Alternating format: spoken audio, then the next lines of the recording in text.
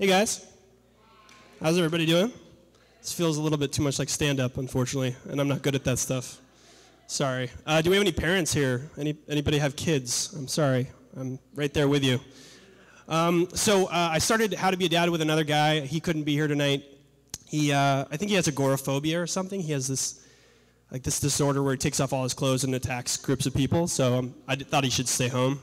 Um, but he's not going to be here tonight. His name's Andy. Uh, but I wanted to tell you about our website a little bit, and then also talk about that struggle, that journey that we uh, have been through. We're, uh, we're a, an entertainment site for parents, for non-parents, and people who have parents, and people who don't want to have kids, basically.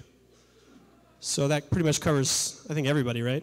Hopefully. Um, so what we do is we have a lot of viral strategies. We create some fun stuff. We're sort of a dad blog but we're a little bit more than that. So we create uh, fun diagrams and things like that. Um, we started April Fool's Day of 2011, which is uh, your first takeaway. Do not launch a business on April Fool's Day. Um, we, uh, we did a, a, celebration, the one year anniversary celebration, and that did not go well. We pretended like we played an April Fool's joke. And um, so this is my son, Finn.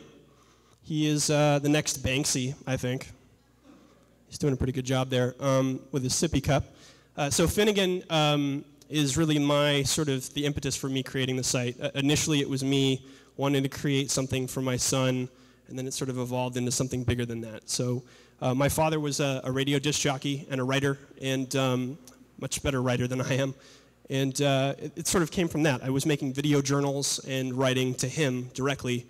Um, and uh, so that's where it all sort of came about. But I started it with this other guy. Um, who, uh, yeah, if you want to go on the next one. Actually, let me show you my wife. That's, uh, that's Andy, naked, blogging.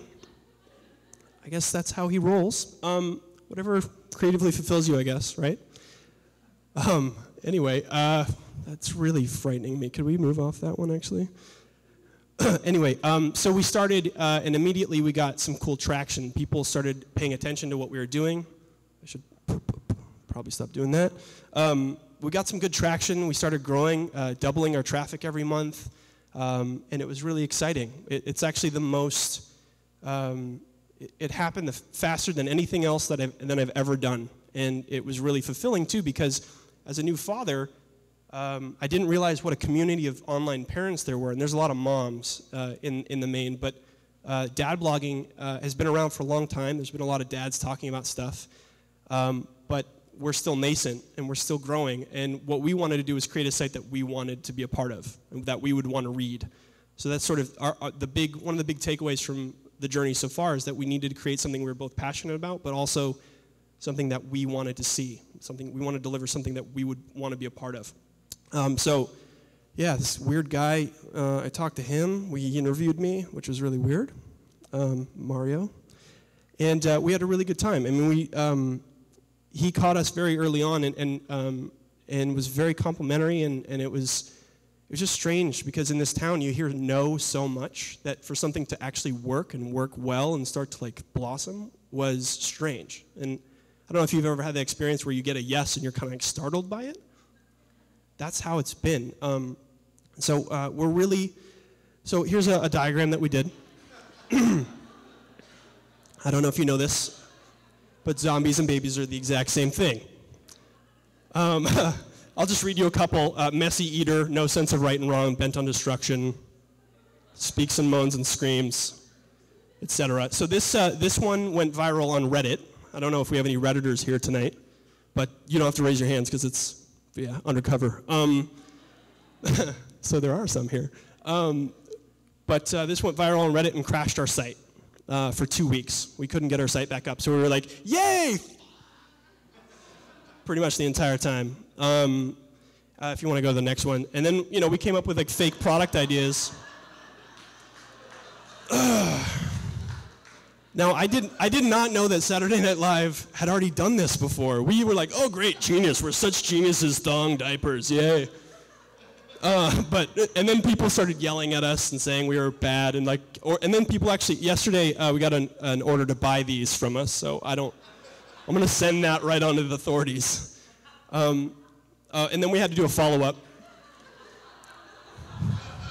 because really this guy I mean, he, he whines, he pouts for bottles and breasts, his mom, credits mom for everything. You know, the bright colored clothing, self obsession. So, um, so this is another one we did, but um, the main thing that we wanted to do was we, we were tired of uh, being talked to in a way that was a, like someone was being the authority. We were tired of the authoritarianism, if that's a word.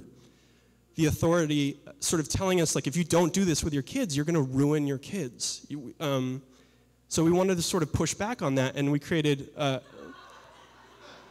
that is a tranquilizing dart for toddlers.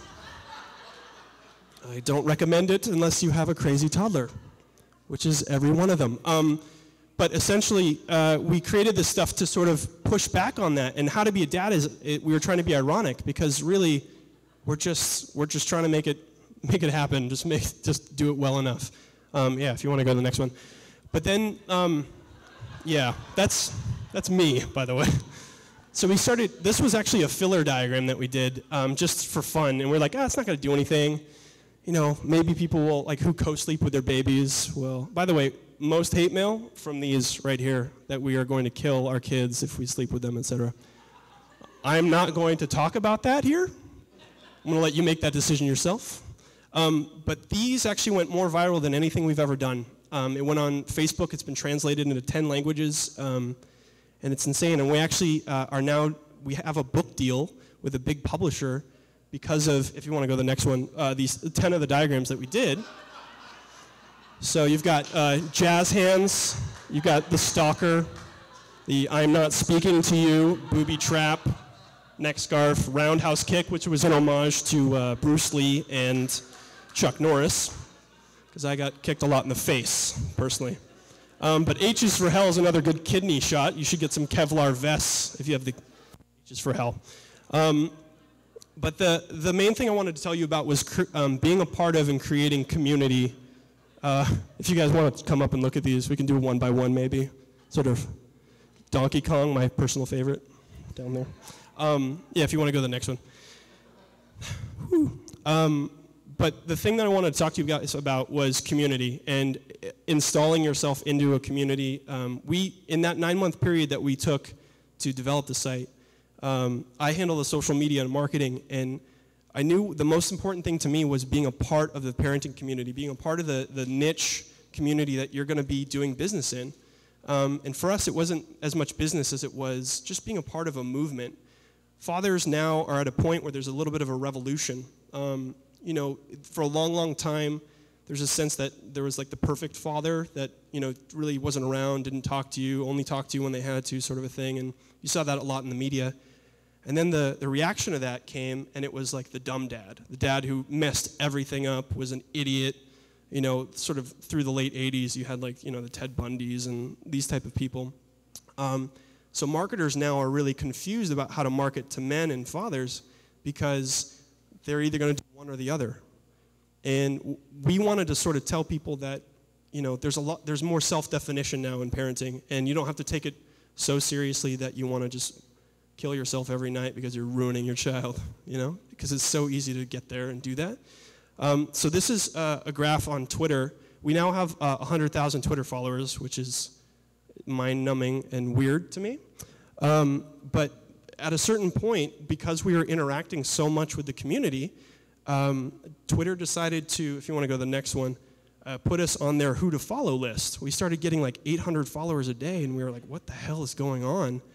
Um, but because, and I don't, I'm not going to pretend to know everything about Twitter and the, the algorithm that curates and chooses who's on that list, but I have to think it's because we were, I was tweeting like a crazy person to as many parents as I could about, not about our blog, but just about life and uh, being a part of, of, a community and really understanding that. So for nine months, before we even had the blog launched, we, uh, we set up you know, all the social platforms and we're there and communicating um, and that was really helpful. Um, so it's really good to understand, you know, about each platform and how each of them can sort of serve and service you, but also what you can serve the community with, um, and also understand how each platform sort of has its own viral style. Like uh, Twitter is different than Facebook. You know, uh, Twitter is much more like hydrogen, where it just explodes and goes crazy, and then it's gone. Whereas Facebook has a little bit more of a long tail. Um, but remember that if you put content out on the internet, the thing I had to learn the hard way, um, if you want to go to the next one, um, was, um, uh, oh God. So uh, I did a I did an article for Huffington Post called "Why Won't My Wife Have Sex with Me," which should be fine. But then I started. Uh, then AOL, who owns uh, Huffington Post, decided to pick it up and put it on its front page with my uh, blue steel photo. so that was good times. But um, you just have to. We had to, at a certain point, come to grips with the fact that like people are going to see this and it's going to exist beyond us, and my son's going to see this, and so it, it has definitely. Um, I still eviscerate myself for the website and the blog, but I also have to understand that I have uh, an effect and that this stuff will be around forever. So, how much? How are we doing on time? We, we good? We good? Sweet. Okay. Do, should we move to questions? Anyway, um, so thank you for listening to me blab on about my crazy bullshit up here.